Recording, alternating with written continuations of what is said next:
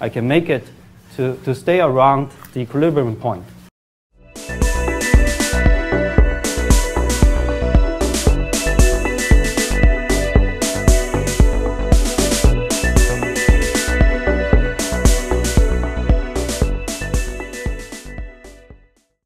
I wrote down a bunch of very important equations for uh, today's lecture. These are the two Lyapunov equations that we talked about last time. The first is the continuous time Lyapunov equation A. So I'm going to read it out because these transposes are going to be uh, important in today's lecture. So it's A transpose P plus PA equals negative Q. And then the solution, if it exists, it's going to be EA transpose T Q E A T dt.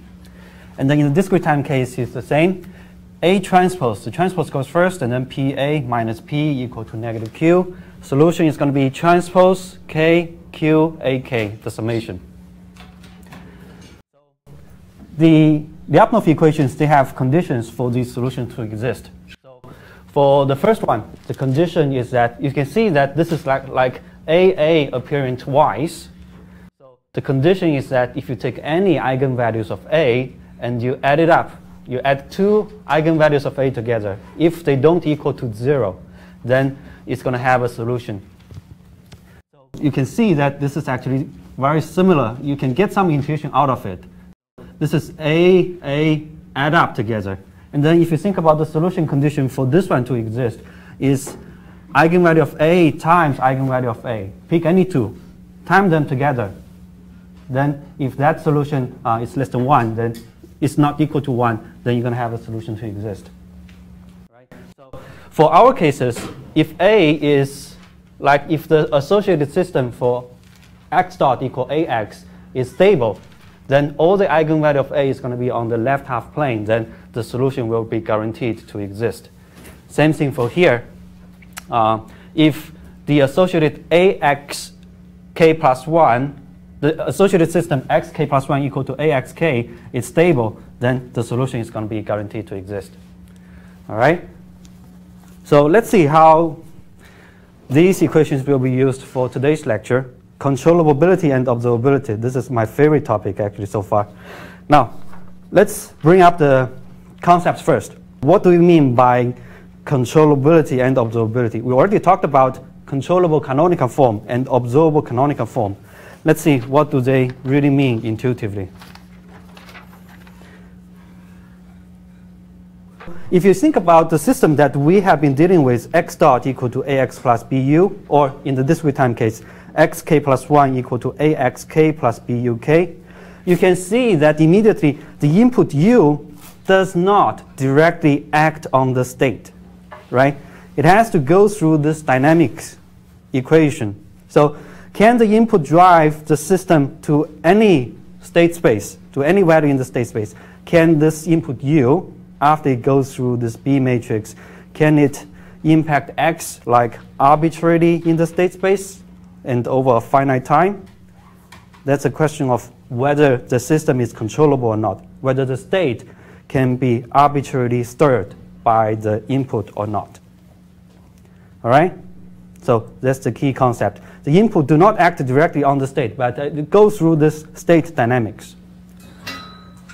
Similarly, for the output side, you can see that the output y usually it doesn't directly equal to x. In other words, if you just take a look at y, you don't directly see the state. You see some kind of uh, manipulated or modified information of the state. So the state are not all measured directly, but instead it impacts output via this output equation. So once you get a bunch of outputs, can we like tell where the state is? So that's the question of observability. And more specifically, this is what we can state a little bit more formally. So can we infer like the initial state from this output and input information. So this is the only thing that we need to be careful about, the initial state. Because once we know the initial state, right, if you take a look at the discrete time equation here, if I know where things start and I know like the input is what we provide, so we, we know the input. Once we know the initial state and the input, then through this equation, the system equation, we can know any state at any given time once this initial state is obtained, right? So we can, we can review the full state trajectory through this equation 1. So that's the concept of controllability and observability. Now, one example, one famous example that I, I like very much is the example of an inverted pendulum on a car. So imagine if I have an inverted pendulum like I do it here. I'm doing a two-dimensional, so I'm, my, my hand can move in two-dimensional space. But uh, uh, one starting point that uh, we're gonna, I'm gonna talk a little bit more is if I move like horizontally and the pendulum is constrained to move in just like a 2D plane. But if you take a look at the 3D plane, you can see that I can, by controlling the position at the end of the inverted pendulum, I can control the position and velocity of the tip of the pendulum, right? I can make it, uh, I'm doing a bad job here, I can make it to, to stay around the equilibrium point, right? So that is controllable. By my command at the end of the beam, I can control the system position velocity at the top, all right? So you can, let me switch back to the desktop. All right, so I provided examples about how this system can be modeled, the state equation. And uh, I don't want to go into these, but instead, I'm going to show you two demonstrations. So I did in class like one degree of freedom inverted pendulum. Now, what's amazing is if you have multiple degree of freedom, multiple uh, double pendulum, triple pendulum, you can see just by controlling the position at the end, at the bottom of the pendulum, you can see it can control the state, right? So in this time, both the position, you can, you can take a look here. So both the position at this joint and the position at the, he's going to swing up the next joint. At the position velocity of this joint, both of them can be controlled by just uh, the position horizontal position of the card.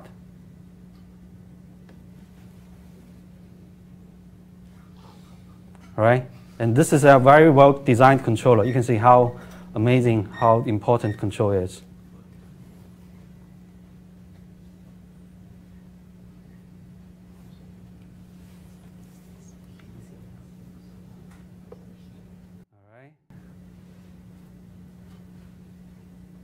Question?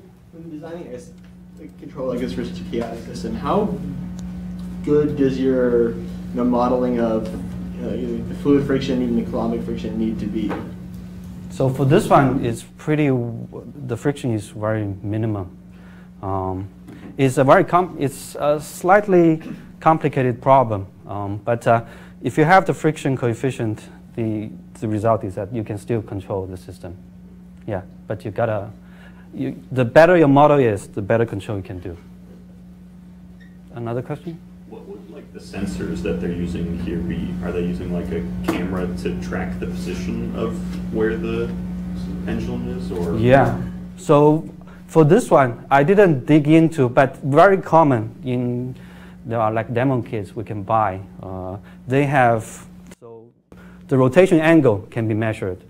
So there will be an angular encoder type of thing that can measure. So what you talk about is actually something that I want to try. Mm. So have a camera and then measure out these angles in real time. That's actually not so easy. Yeah, a lot of issues can, uh, can happen. Another question? So um, I'm assuming there's a lot of different paths you can take to get to these equilibrium positions. Is this just doing the most efficient path, I'm assuming? Uh, for sense? this one, probably not. Yeah, so it depends totally on how you design the controller. There are different kinds of control designs for sure. Yeah, so let's take a look at another one. It's even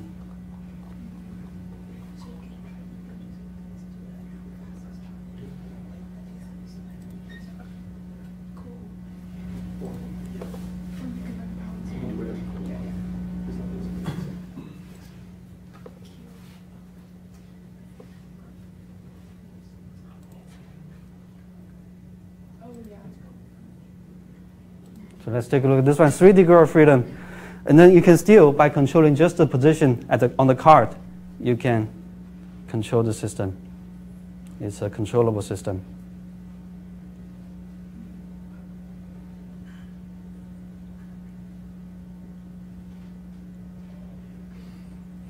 All right. So this is something that uh, I find it difficult to do, a double pendulum. It's difficult for me. It's even challenging for me to do this single pendulum. But uh, uh, a computer, if you design the controller well, you can do this. Another question? Uh, yeah. What happens when it starts going unstable towards the edge of whatever the motor can move? Like if it's tipping to the left, it can't really compensate by going out, right? So Mm. do they define the problem well enough or Yeah, for this one, I think is the controller is designed around the equilibrium point that's uh, pointing upward. And uh, if it goes too much, then the system is going to be like uh, too far away from the equilibrium, and the controller may perform not as well. Yeah. All right. So these two problems, the, the two videos is going to show you is the purpose is to show you that uh, the system is controllable. Uh, double pendulum, triple pendulum is controllable. And if you uh, try in MATLAB, this one, MATLAB has already built in a double pendulum example for you in the, uh, in the demo problems. So you can run this command and it's going to show up a double pendulum design. I will uh, not talk about it today. And uh, what I want to mention is if you think about the pendulum again, what I did is I did this. I can do this still, I can, I can kind of do this. Now, let me talk about another uh, concept that's also important. This is just about controllability, whether I can control the system. And then there's this also a concept like how easy it is to control the system, right? So this is easier, but if I try to do this one, this is much lighter than this pendulum here, and it's going to be much, much more difficult to, to, to stand up. So, so uh, yeah, it's, it's extremely difficult, actually. So uh, the system, depending on how you design the system, the system can be very easily controlled and can be very difficult to control. So that's a problem as engineer that we should be thinking about, right? So the weight is important. What do you think? Something else, design parameter is also going to be important. The- Maybe like the thickness of it? Thickness, how do you define thickness? Uh, the cross-sectional surface area? density of the- know. height? All right. So density is the same as like the weight, right? So stiffness, that's a good one. Uh, if it's like a flexible material, that's definitely going to be more difficult to control. That uh, that is actually uh, entirely a different class of system. If it's a stiff material, that's actually a very good problem uh, that um, involve nonlinear system analysis. Now another another thing that some of you mentioned is the height right? So if it's taller, it's easier to, to stabilize, to control, right? You see here, I do a much better job, all right? So all these problems are so uh, very interesting. Controllability, observability, how easy it is to control. So with these concepts in mind, let's talk about more formally. Now, if I give you a system, how do we quantify whether it's controllable or not? So, first, let's talk about this example.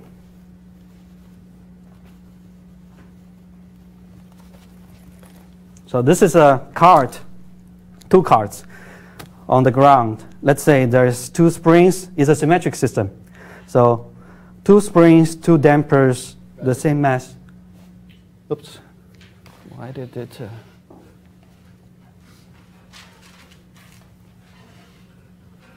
All right, thank you. So, symmetric system, two mass, two spring, and two dampers. And the control is applied to the mass, and it's doing a symmetric control input to the two masses. Now, let's talk about controllability. The system has four states, like the position, because I have two mass. Each mass has position velocity as the state variable. So I have one, two, three, four, four states. And uh, the control, if you think about how it's applied, you can see that, let's say originally the system is symmetric, the initial position velocity at zero. Then if you apply the symmetric force to the two masses, you can see the motion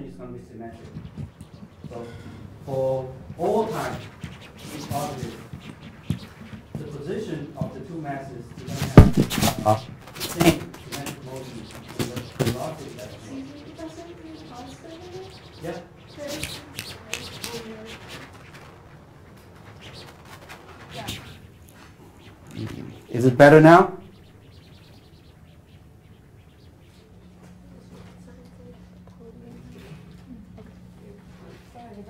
Sure. All right, so we're going to start from discrete time first because it's easier to go that way. So the full definition is as follows. Now let's say our system is xk plus 1 equal to ak, xk plus bk uk. So this definition works for both time varying and time invariant systems. This is called controllable at k equal to 0 if there exists a finite time such that for any initial state and the target state, there exists a control sequence that's going to transfer the system from x0 to x1. So the picture in the two-dimensional system, it looks like this. So let's say we have an initial state, and then I want to go to somewhere x1. So if the system is controllable, it has to be able to have a control sequence, let's say U, U0, and then U1, and then let's say it can go three steps to here, U2. So it has to be finite time. It has, you have to be able to reach to here in finite time because if it takes forever for you to go from here to here, then it's not so much interesting. So it's a finite time sequence that's going to go from, if you pick uh, any target state, any initial state and target state, it's going to be able to do that, not just like a specific point. All right? So for time invariant system, that's very easy to do in discrete time. So we talk about the solution, right? If you know the system equation, then you can write out the solution. You can write out x at time n as a function of the initial state and whatever control input that you applies. So if you write it uh, slightly differently, this is what we talked about.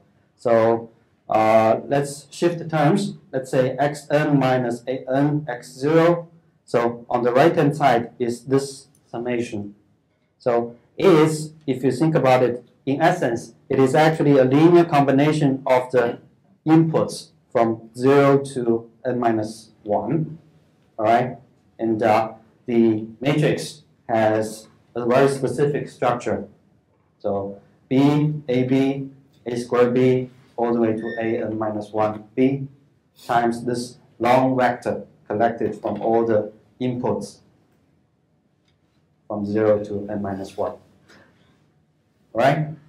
So the question of controllability, you see, is as follows. If I pick any xn, x0, right, giving any terminal state and initial state, can we solve this equation? Can we figure out the control sequence that's going to give us a solution to this equation, matrix equation? All right? So if I talk about, if, if we take a look at the dimension of the, the, uh, the matrix equation, it looks as follows. So if B, let's say this is uh, dimensions, this is n by n, and B, the dimension of B depends on the dimension of input. If my input is 1, then this is n by 1. If my input is, let's say R, if I have R input, then this should look like, B should look like, in general, let's say it's two-dimensional, so it has two columns, right? So B usually is a skinny matrix, tall matrix. So the dimension of this one is therefore, you can see it has B, B, B. So the row number is whatever, whatever number of rows B has. So it has n rows. The dimension is n rows. And then the column number, if B has two has R columns, AB has R columns, then then all the way it has n terms in this matrix. So the dimension of the column is n times R. All right. So the matrix PD in general, it looks like it has either as many columns as the rows or it has more columns than the rows. So it will look like something that like this. That's the dimension. So it is a wide matrix potentially if is a wide matrix if I have if R is larger than 1, if I have multiple inputs. If I have just one input, then it's a square matrix. So under what condition can we solve this equation? That depends entirely on the, uh, the rank condition for this matrix PB, right? So if PB has rank n, all right? So if PD has rank n, right, and then this side, the dimension is n by 1, so it looks like this. So if the matrix has rank n, right, then you can see that we can come up with a sequence to reach any n by 1 vector because it has full rank. It spans, the columns of this matrix spans the Rn. So if you give me any matrix uh, n by 1, I can solve this equation. So uh, the condition is this has rank n. And uh, if you take a look at the dimensions, n is the full row rank. All right? So that's the condition for this to be solvable. All right? So putting in uh, to a little bit more perspective. So now we know that the condition for this to be solvable is this has full rank, full row rank. Question? You just explain again why that needs to have full row rank or it could be All right. So two elements first. So the first element is treat this. Let's go from column perspective. This has a lot of columns, right? So this matrix multiplying a sequence is just a linear combination of all the columns, right? If these columns span Rn, then we can we can easily solve this. There, there always exists a solution, right? Because this spans Rn, so it can represent any n by one vector. Now, the condition that this spans Rn, the column spans Rn, is that there are n linearly independent column vectors, right? So the dimension, the rank of this matrix is n in that case. And uh, uh, n happens to be, if you take a look at the dimension that we talked about, is the row rank, is the number of rows. So that's how it's defined. All right. So uh, that's the concept. That's, a, that's the first concept. And then the second concept is as follows. You may wonder, right? So here we pick, we, we went to just n minus 1. All right? So why don't we go further, right? If I have more control input, it's intuitively, uh, it's intuitive that I can even, uh, even go, if I have more columns to choose from, I can even go to more dimensions. I can span the uh, space if I have more columns. So it turns out you don't need to go. It turns out you don't need to, in this, in constructing this matrix, you don't need to go beyond n components in here. You only need to go from 0 to n minus 1. All right, so if you add, if you continue add an, b, an plus 1b, it wouldn't help you. All right, so the minimum required number of steps is n, it turns out. All right? So this is the concept in the so-called Cayley-Hamilton theorem. This is a very powerful theorem. All right? So you don't have to, once you reach to here, you don't need to go beyond. These are additional columns will not help you. All right? So the uh, underlying reason is that this an, okay, you can see uh, a appears, you have a power series of a. So the reason is that if you add an b, an plus 1b, wouldn't help you because an is linearly dependent. So it turns out once you give these, once you have these, you can express an by linear combination of these terms. All right, so you don't have to go beyond uh, n here. So this theorem is uh, two people, two mathematicians contributed to the theorem. So the first one is Arthur.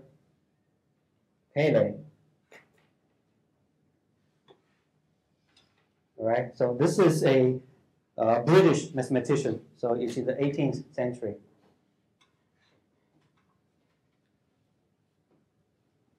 And then the second uh, Hamilton is uh, William Hamilton.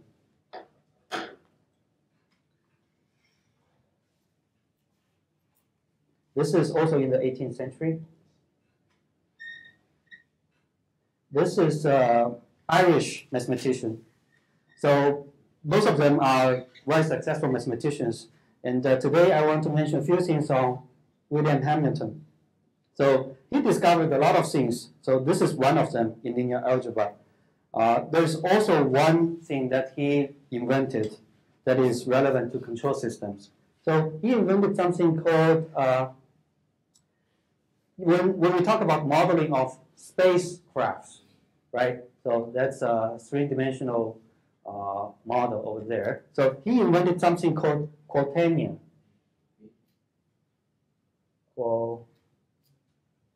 Quaternion. All right, so um, he was initially, he has been thinking about the problem for a while. Like, we have pretty good understanding of complex numbers, right?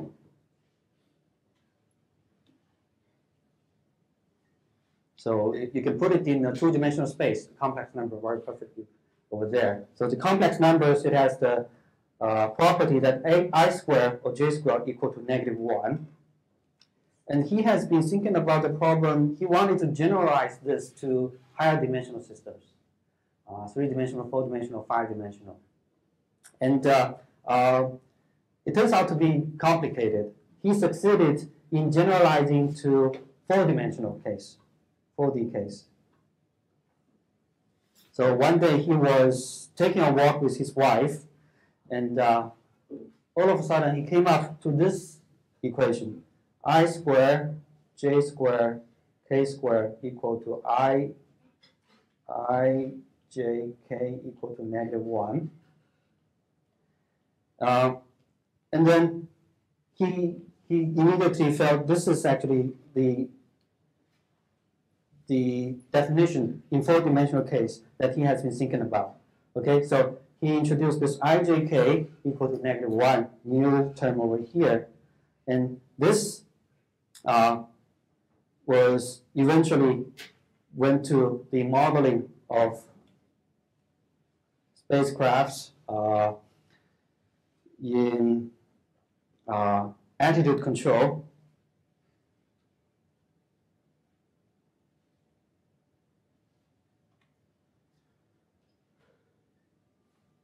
And uh, uh, computer uh, graphics signal processing as well.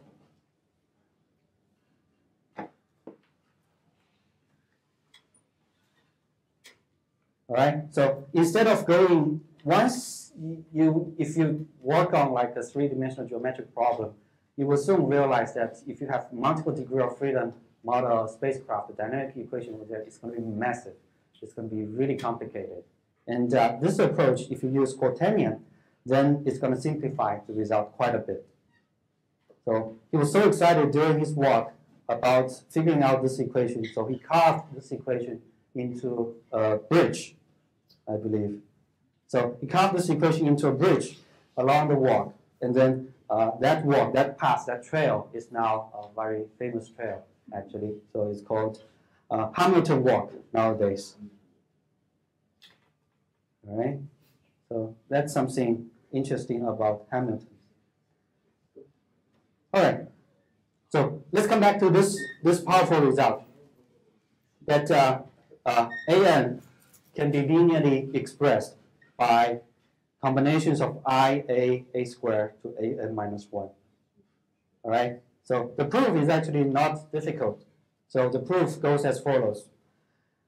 So for a matrix, we have this characteristic polynomial, right? When we compute the eigenvalues, determinant lambda i minus a. So it is a polynomial equation.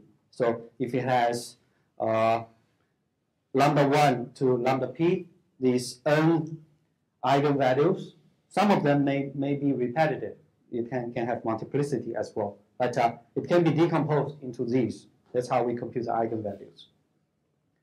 So the proof goes as follows. So if you substitute lambda with a, then you get this uh, PA, this polynomial of a, is a minus lambda 1 i all the way multiplied to a minus lambda p times i.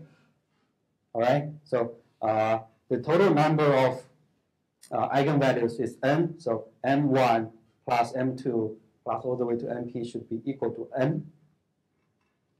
All right, so we want to show that uh, this, so we want to show this one.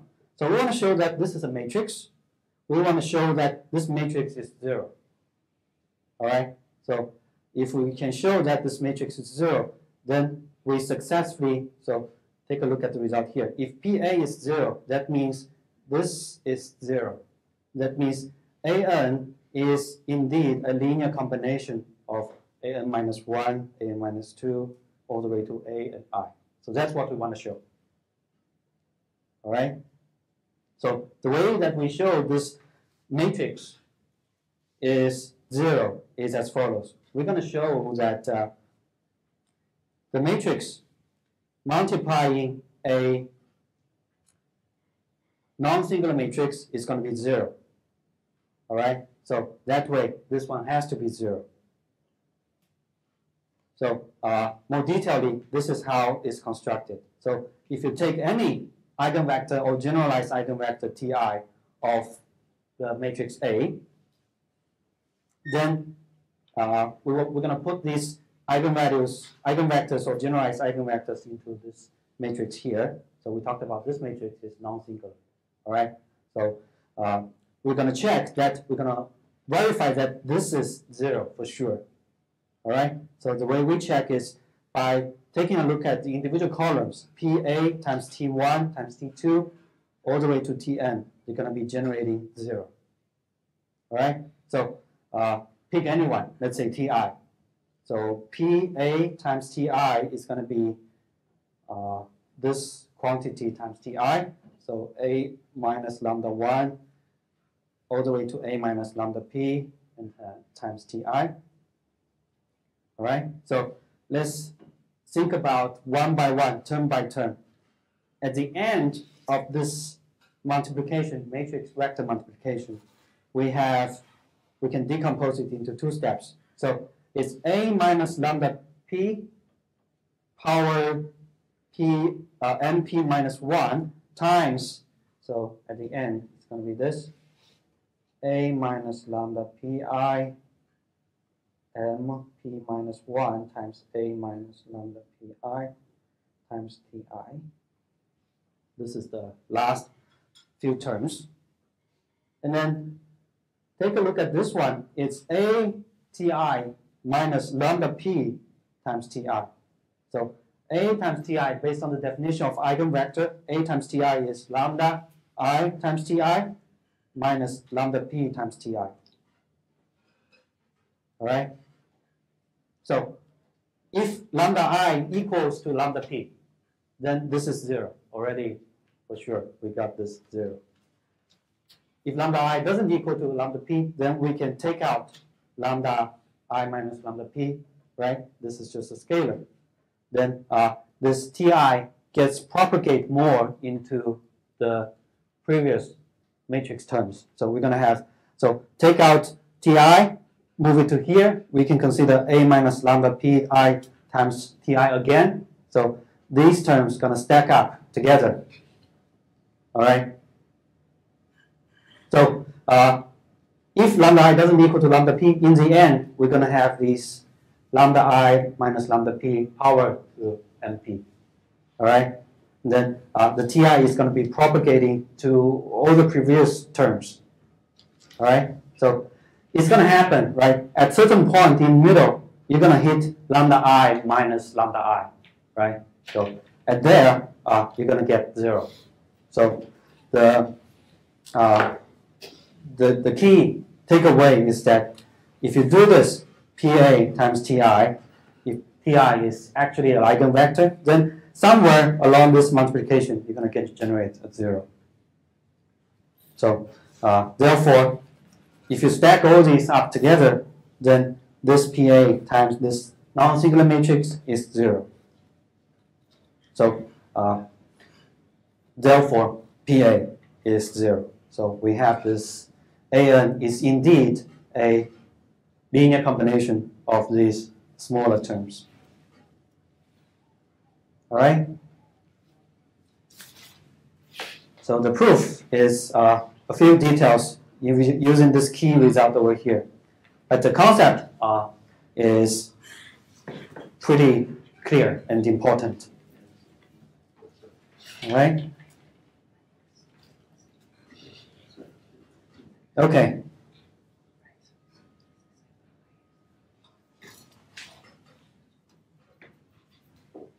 So, the Cayley-Hamilton theorem gives us this result, right? This gives us the uh, first condition that uh, this controllability matrix, PD, you only need to construct B, A, B, all the way to A, n minus 1, B, this matrix, if it has rank n,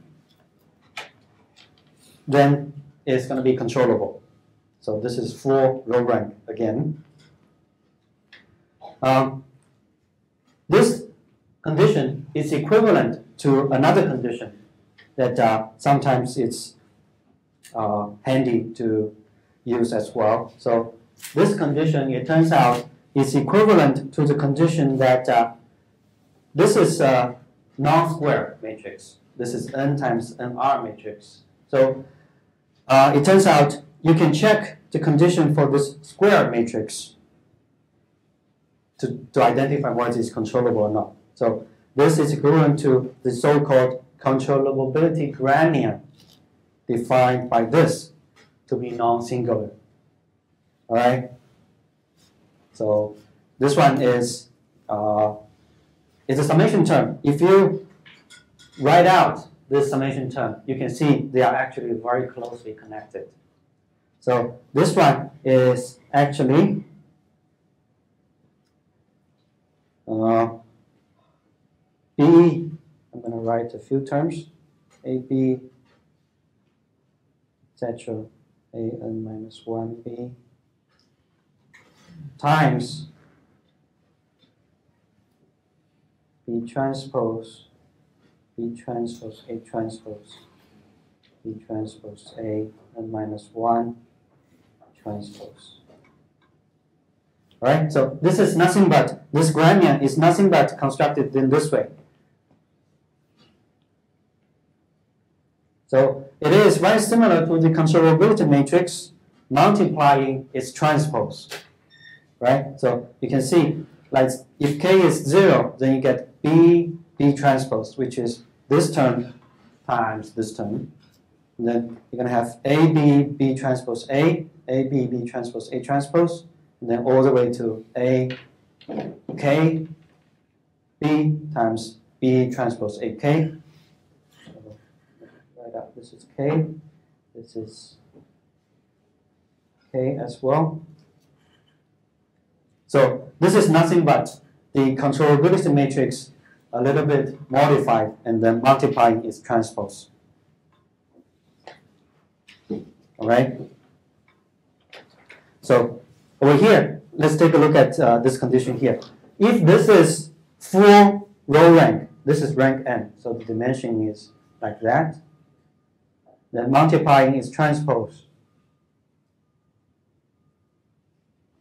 So if this is full rank, if this matrix is full rank, then the result is that this matrix, if you multiply this out, is going to be non-singular. All right?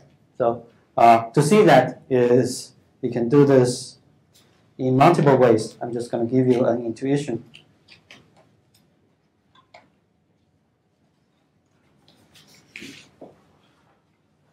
All right?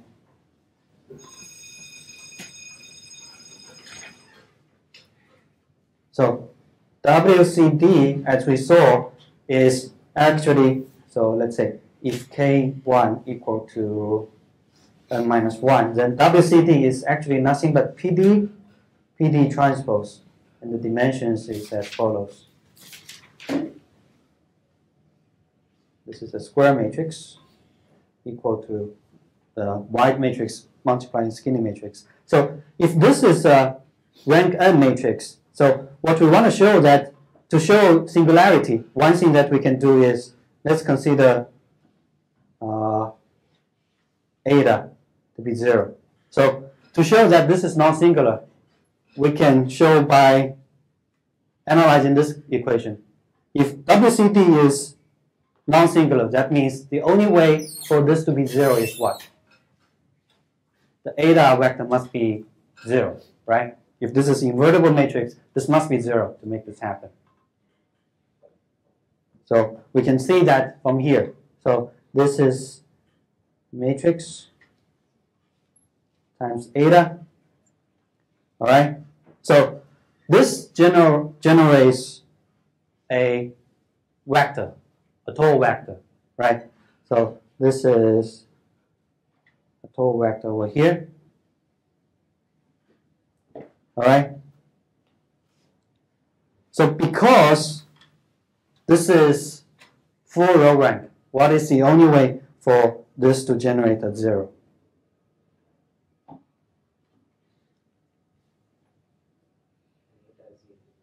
So you can uh, take a moment to look at this equation, and the only way for this to be zero is that eta must be zero, right?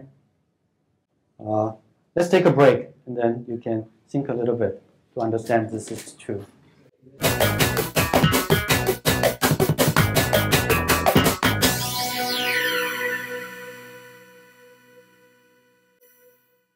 This has to be zero for uh, this equation to hold. All right, and uh, uh, if we go back one more step and take a look at this, so I want to show you how very soon, quickly, I want to show you this one. Actually, if you take a look at this, this looks so similar structurally to this guy over here.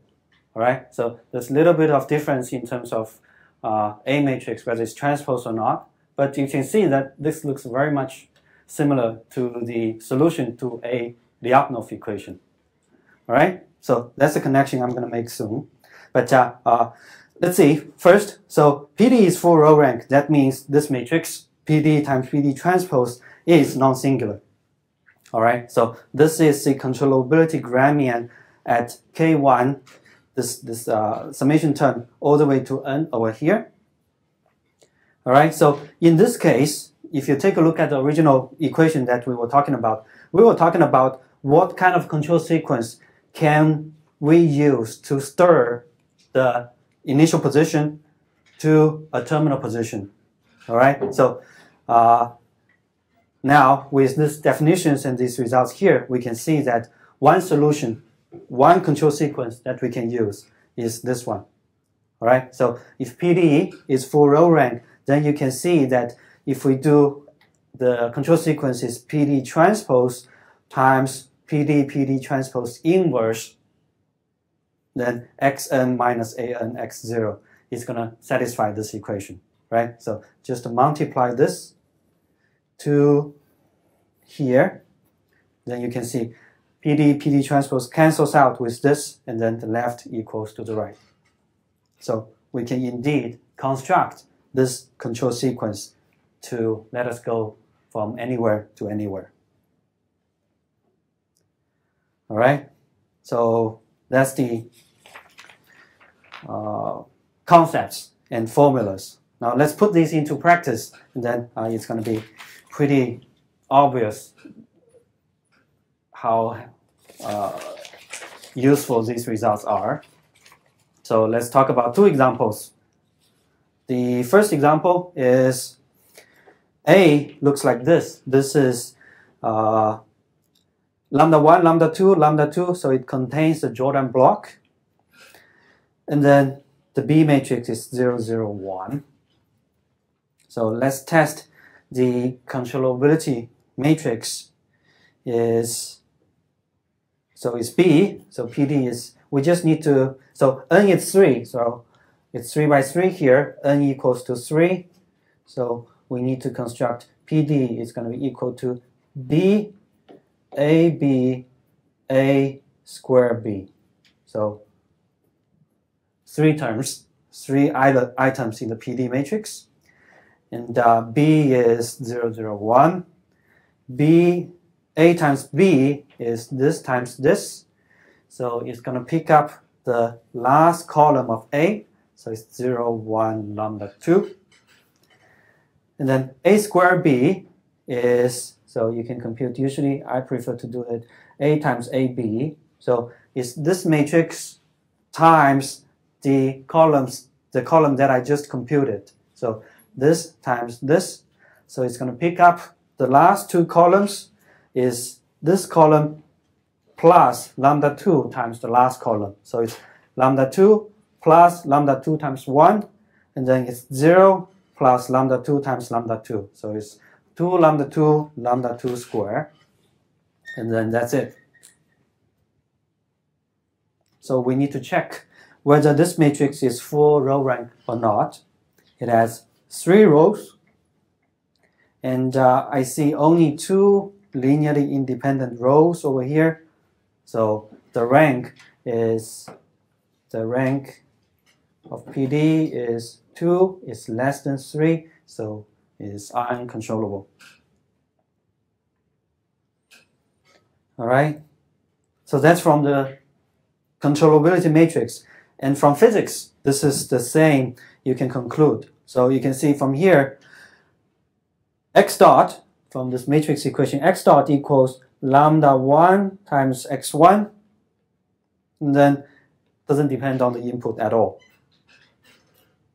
That's the dynamics of the first state. So this is not impacted by the control input at all. Actually, it's, it's not impacted by x2, x3, the other, other state as well. So you can never fully control this state. So it's therefore uncontrollable.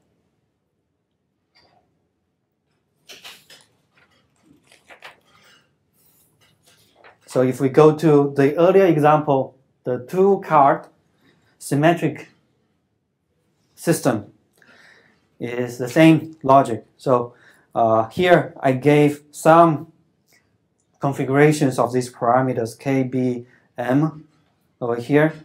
And then uh, the system dynamics, I wrote it out.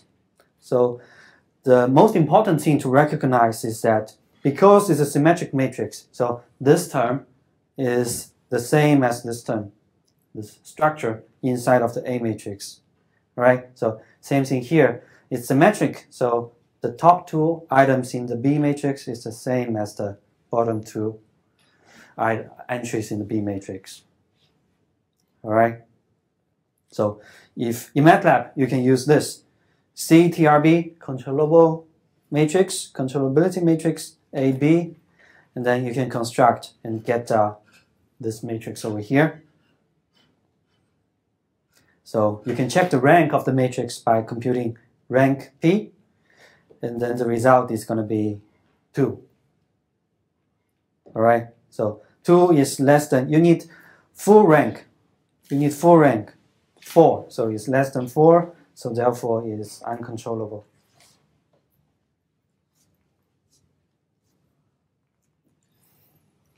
So that's for this example.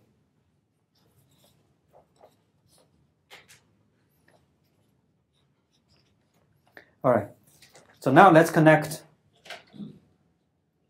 the previous concept, controllable canonical form with controllability. So controllable canonical form is, I, will take a three by three system uh, A matrix as an example. So controllable canonical form is this. B matrix has structured 0, 0, 1, and then A matrix has all the coefficients in the last row. So if you check the controllability matrix for this one, it's B. And then when you compute AB is the last column here. A times B is the last column here. And then A square B is A times AB. So it's going to be adding up the second column plus the last column times negative A2. So it's 1 over here, and then some like uh, 0 plus minus a2, and then negative a1 times negative a2 square.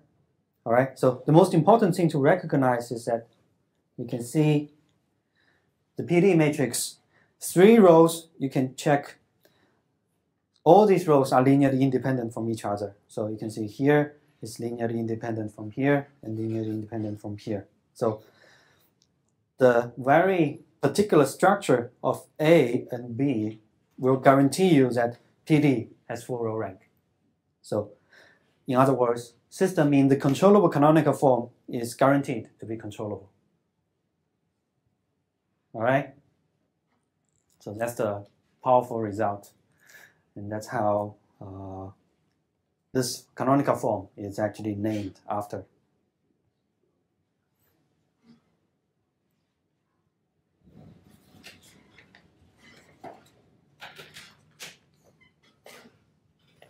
All right. So that's a linkage to a previous concept.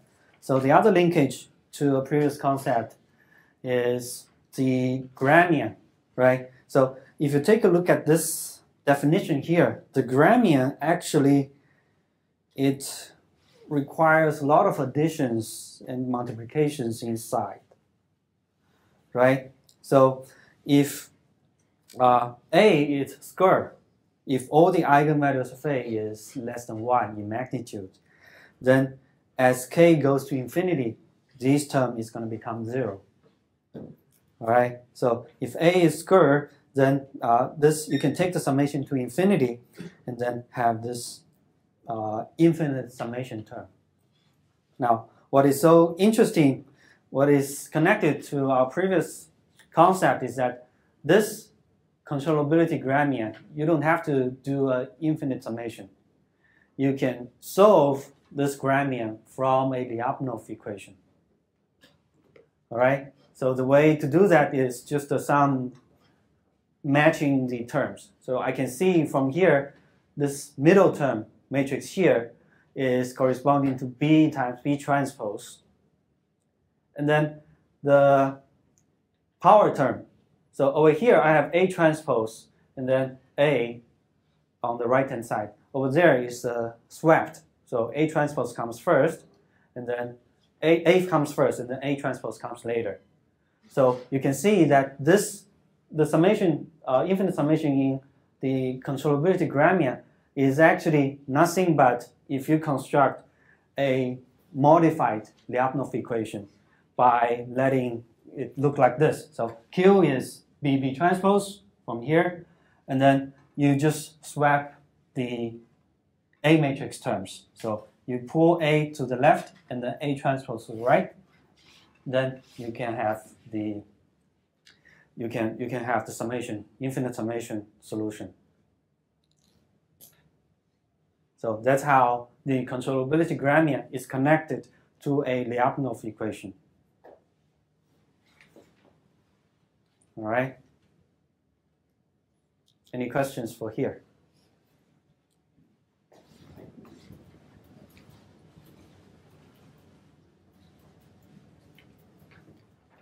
Okay.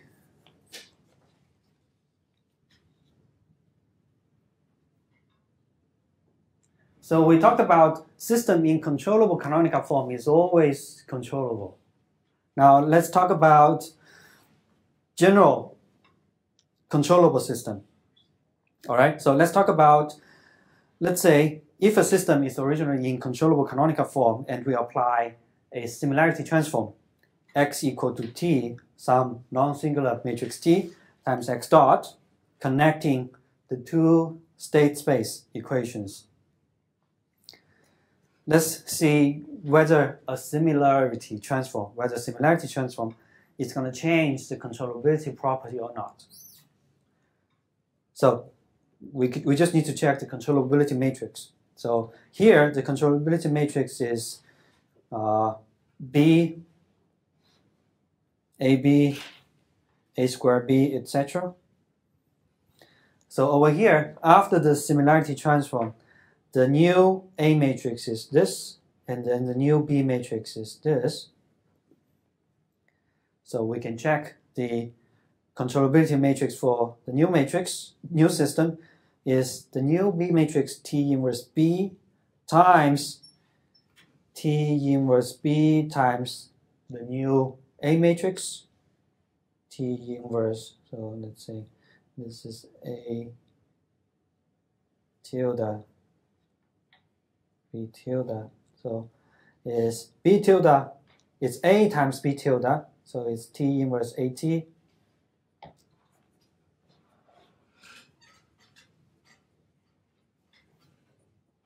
times T inverse B.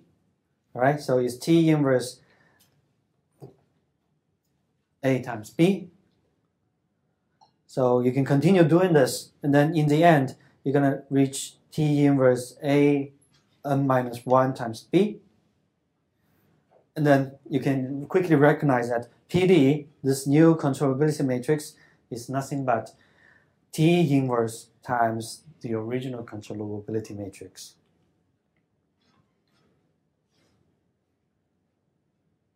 So if one of them is full row rank, then the other one is going to be guaranteed to have full row rank because this is uh, non-singular matrix. So uh, that's more formally, that's how we write it. We usually write that uh, the pair, the matrix pair AB is controllable uh, if and only if this uh, A tilde, B tilde after similarity transform is controllable. All right. So uh, no matter how you do the similarity transform, any coordinate transformation will not change the controllability property. This is something that's intrinsic to the system dynamics.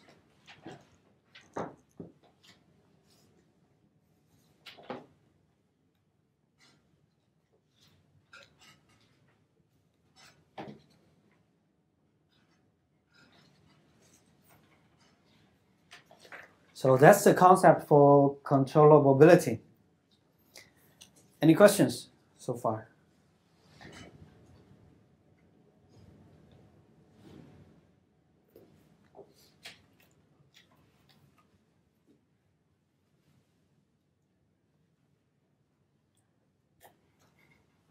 So the second part of today's lecture is about observability.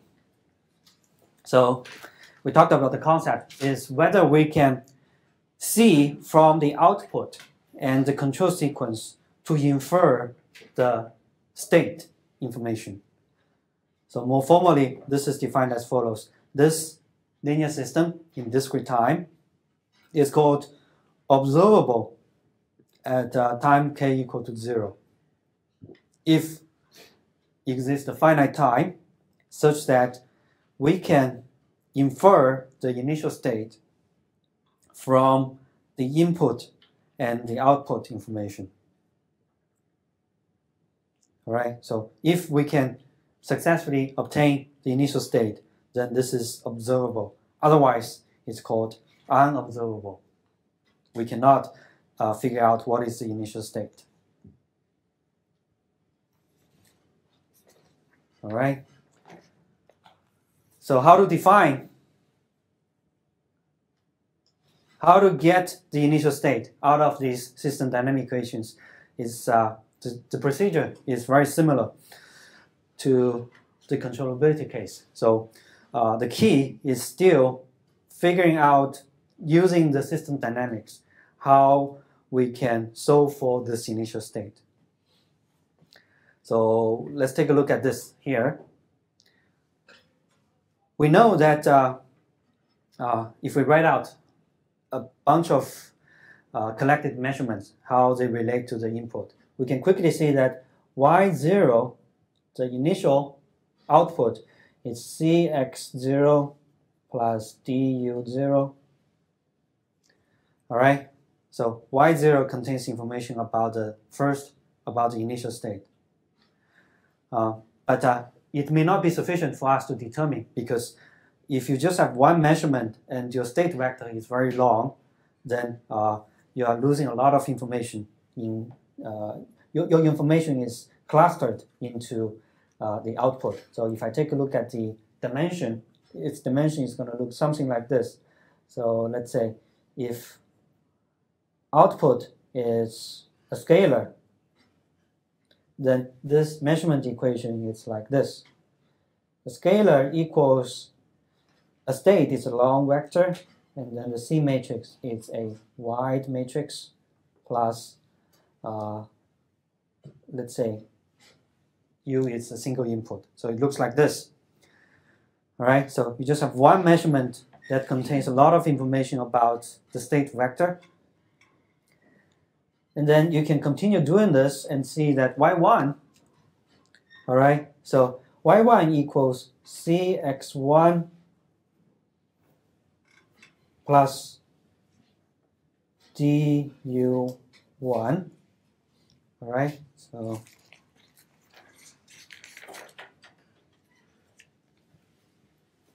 So y1 equals cx1 plus du1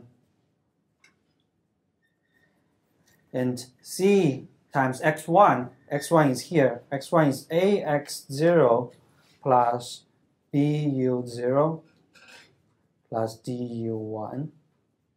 So it equals cax0. So the initial state information is in, infers is passed over to the first measurement plus CBU0 plus DU1. All right. So uh, if, let's see here, for simplicity, I'm gonna use the case for uh, input is zero. All right. So if this input is zero, then uh, the result is easier to write. If they're not zero, then you can see that this is always something that we know. So this is always something that we know. And uh, if you move this term to the left, then that is about the information about the initial state exclusively. All right. So uh, the point that I want to make is that you can always have this state information. All right. So the state information can always be written as some information about the output minus some information about the input. All right, so this is what we measure. This is something that we know. So we can always have this construction of the linear system equation. All right. So uh, let's, for simplicity, there is some uh, for simplicity, let u k to be 0, then this is what we're going to have. The output, if we stack them up together, then y0 is c times x0, y1 is c a times x0, and then etc. all the way.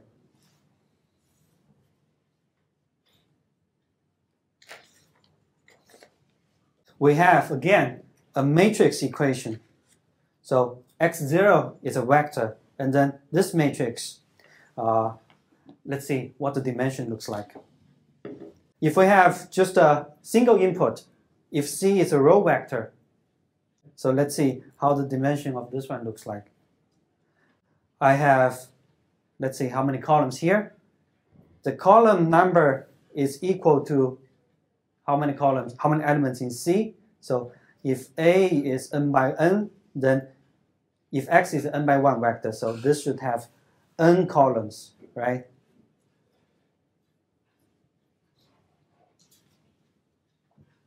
What about the number of rows?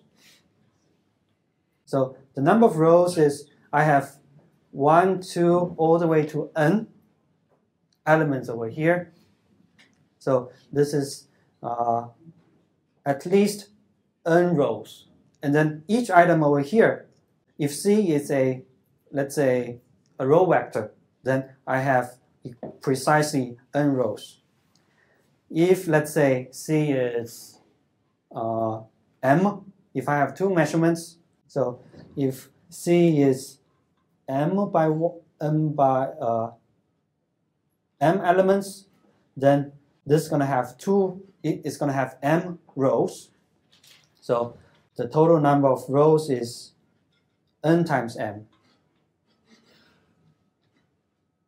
All right, so it's going to look like a tall, skinny matrix for ND.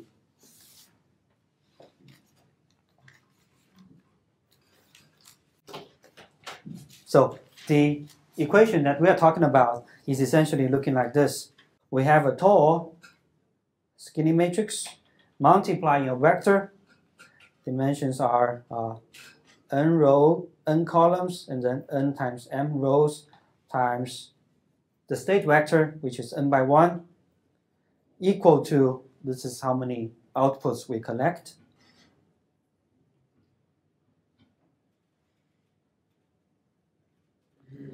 Uh, then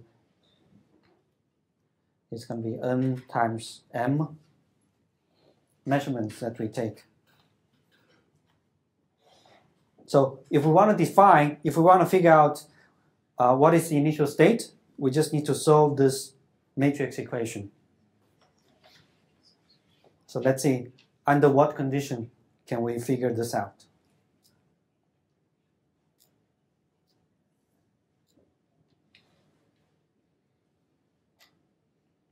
All right?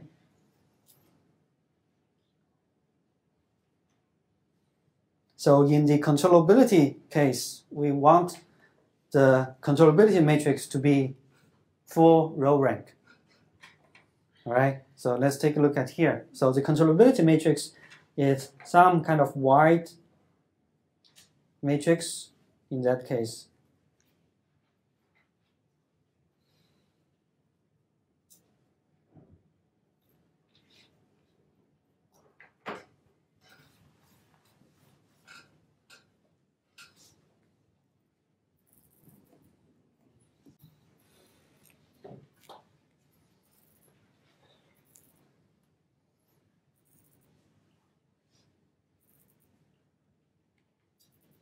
So this is what we measure.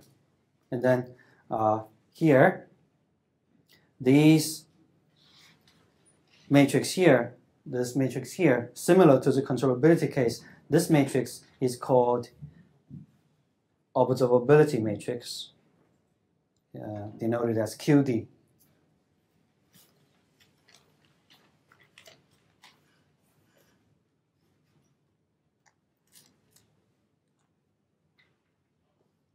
All right, so in the controllability case, we require this to be rank n. And then in the observability case, is very similar. So we require this matrix to be rank n, or in other words, full column rank. You can check by taking a look at the system equation here. If this is full rank, then it turns out this equation can be solved. One quick solution is as follows. So if this is a full column rank, then uh, we can do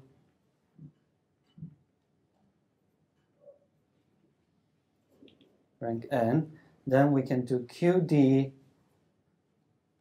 QD transpose, QD transpose times QD. this is going to be a, if you take a look at dimension, it's going to be QD is a long tall matrix. So QD transpose is a wide matrix times a tall matrix. All right, so this is going to be a compact matrix. So if this has rank n, then this is going to have non, this is going to be non-singular.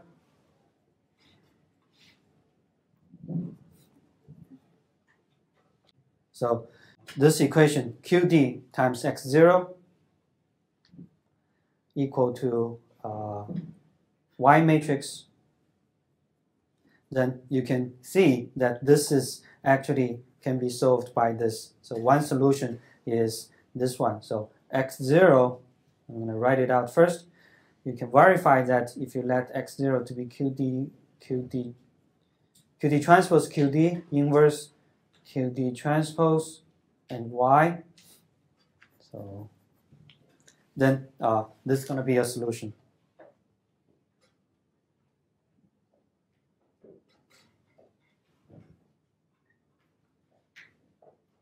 All right, so let's take a look together.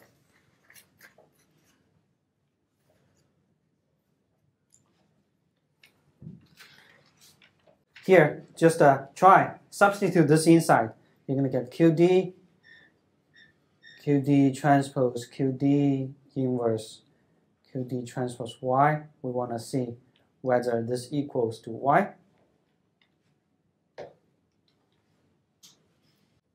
So you can see uh, if you do multiply QD transpose on both sides, you can get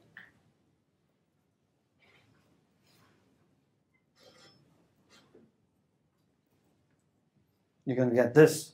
So QD transpose times QD, this is going to cancel out. then uh, the remaining is QD transpose Y equal to QD transpose Y.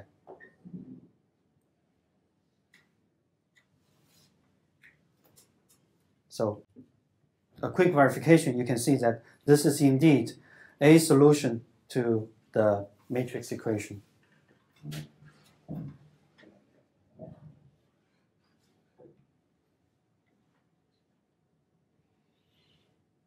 Right.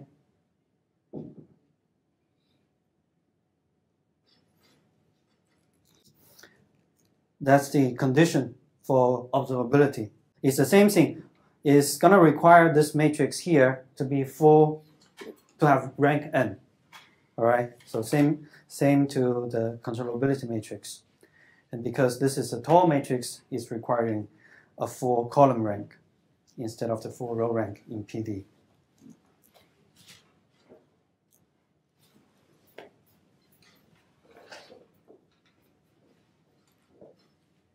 All right. So this is very easy to check. Once you write down a bunch of terms, C, C, A, etc., you can usually figure out like what is the rank of this matrix.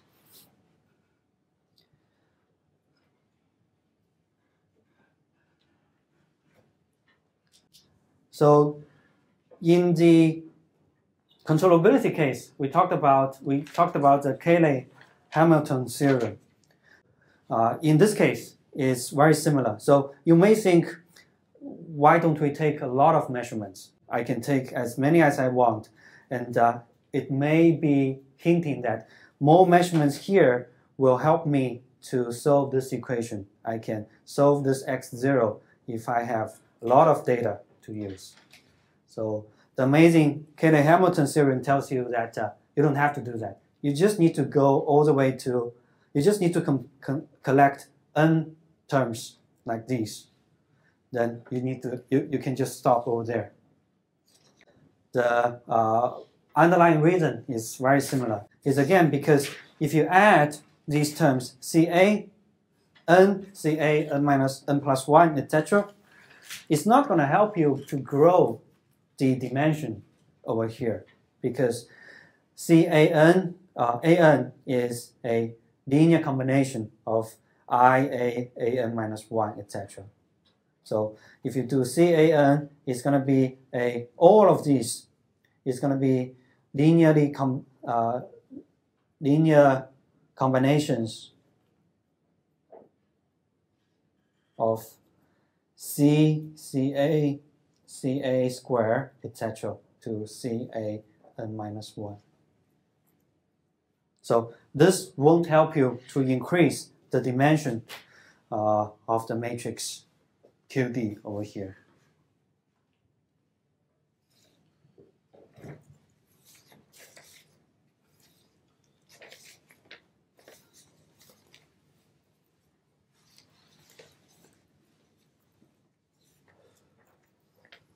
Okay. That's the a theorem of the control of the, of the observability theorem. That's one component over there. So if you want to check whether the system is observable or not, construct this observability matrix CCA all the way to Cn n minus 1. Check whether it has rank n or not. If it is, then this is a control observable system. So same thing, we have a observability gramian analogous to the controllability gramian. It is actually also a summation term is a summation that looks like, uh, write it out, is going to be QD transpose times QD having that kind of structure.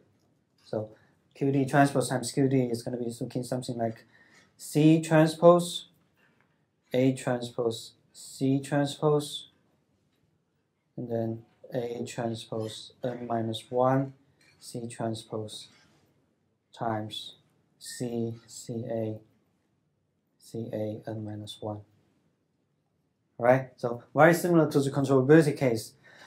Uh, if this has full has rank n, then multiply this out, it's going to become a square matrix that's non-singular.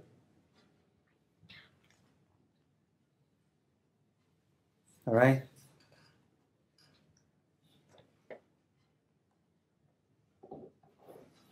So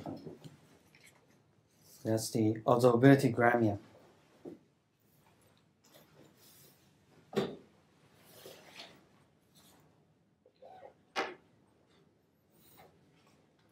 This observability gramian, if you take a look at the structure, again, if k is infinity, right, this is again something that looks very much like a solution in this form. Now this time you have q to be c transpose times c, and then uh, a transpose, this is in a good position. This is the same structure over here. So you can solve, if this k1 is infinity, you can solve this observability gramian from a Lyapunov equation.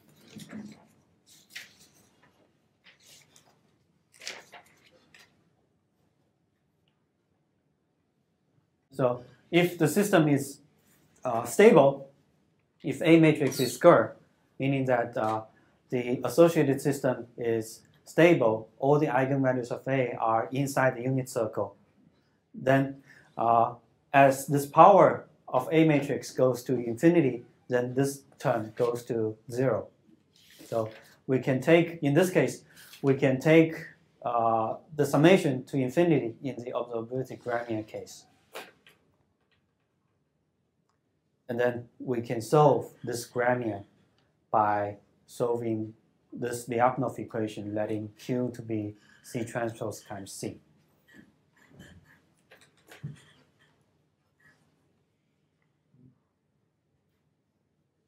All right, so that's how the gramian can be obtained, how it's linked with the, the equation.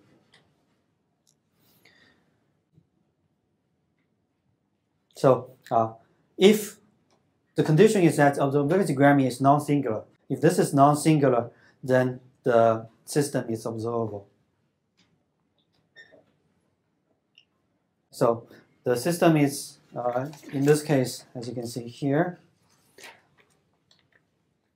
so the observability gramian is in this type of structure is like uh, a matrix transpose times itself. So if this system is uh, if QD is full rank, then this is uh, observable implies this is actually even more stronger. This is not only non-singular, but it's actually positive definite, right? So this can be decomposed into like, this is like a square of a matrix.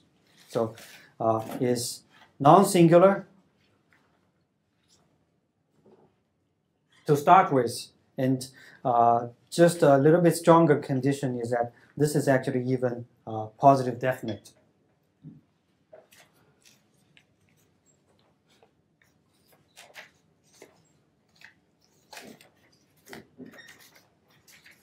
That's how the Gramian can be computed from the Lyapunov equation. So we talked about in the controllability case, uh, if you do a similarity transform, it wouldn't change the controllability. Same thing for the observability. This is some property of the system itself. It won't change whether you apply a similarity transform or not. So you can show this by uh, computing the observability matrix as a take-home exercise.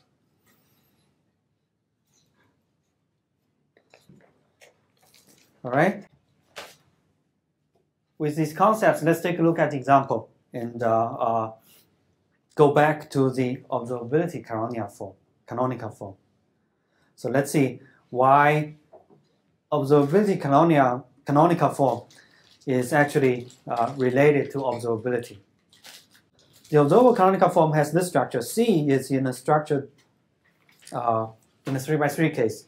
It's 1, 0, 0. And A is having the first column containing all the coefficients. So if we construct the observability matrix, we're going to get uh, QD is going to be equal to C, CA, because it's 3 by 3, so we need to construct three items to CA square. And then uh, the result is the first row is 1, 0, 0. The second row, C times A, is picking up the first row of the matrix, negative A2, 1, 0. And then CA square is going to be CA, last row CA times A. So it's this row vector times this matrix. So you can compute and obtain, this is going to be uh, first row A square, A2 square, then plus the second row minus A1, first row 1, plus the second row 0, and then the last element is first row uh, is negative A2 here. So it's negative A2 times the first row plus the second row. So it's negative A2 here and then 1 here. Again, uh, the key that uh, I want you to take a look is this matrix by construction because of the properties in C and A is going to be single, it's going to be full rank. Rank is n. All right, so uh, the rank is 3 and uh, uh, it's full row rank, full column rank equals the dimension of the state. So therefore, it is observable. So system, now we see that system in observable canonical form is always observable.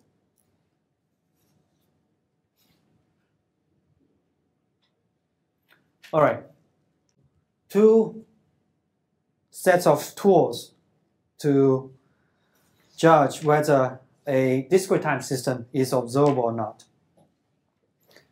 In the continuous time case, the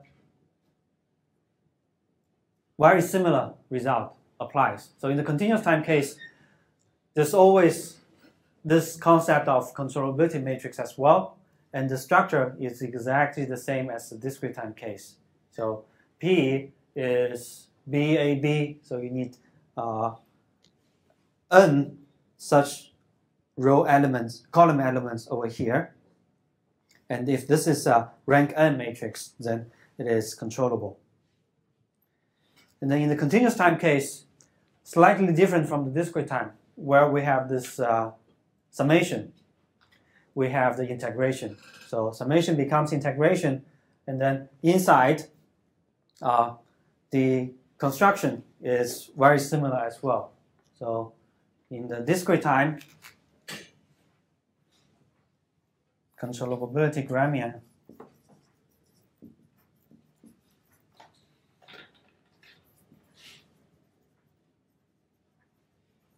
So in the discrete time case, we have summation uh, from A, K, B, B transpose, A transpose K, summation over K. And in the continuous time is replacing the same B matrix inside, the same uh, BB transpose inside, and then replacing the discrete time power function into exponential function. All right, so do this for AK and the same for A transpose K. We get the controllability gramian in the continuous time case.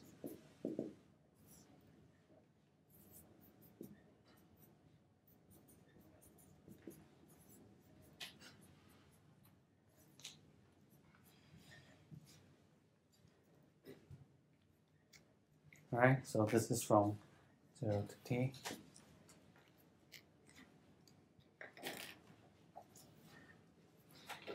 So you can see that this is very much similar to this equation over here again. So uh, hinting some relationship, hinting that the controllability gramian can be solved from a Lyapunov equation as well. So same goes to the observability conditions. So we also check the observability matrix constructed in the exactly the same form, C, C, A, uh, all the way to CA uh, minus 1. And to see whether it's observed or not, just check whether this matrix is rank n or not. And then the Gramian, observability Gramian in continuous time case is similar. So it's replacing uh, summation sign with the integration sign. And uh, inside is C transpose C. Uh, and then E, A, transpose T, etc. So uh, if I put everything into one table, this is what we're going to have. All right, so uh, controllability gramian that uh, we just wrote down is E, A, tau, B, B, tau. So controllability depends on the input vector. Observability depends on the output vector. So two integrations this is A tau, this is A transpose tau coming first. Uh, discrete time looks like this. So uh, integration becomes summation, both for controllability and observability. By looking at these solutions here, so we can see that uh, the controllability gramian similar to the discrete time case can be solved by a continuous time Lyapunov equation. All right. Here, A first, so it's A WC plus WC A transpose instead of uh, uh, in here. If A transpose comes first, then this is A transpose. All right. So here, A transpose comes first, so it's A transpose, the observability gramian, and then A coming uh, to the right-hand side.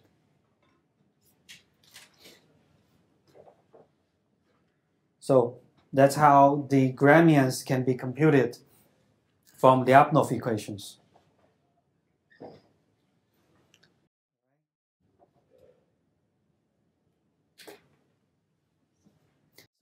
Let's see, what's the time?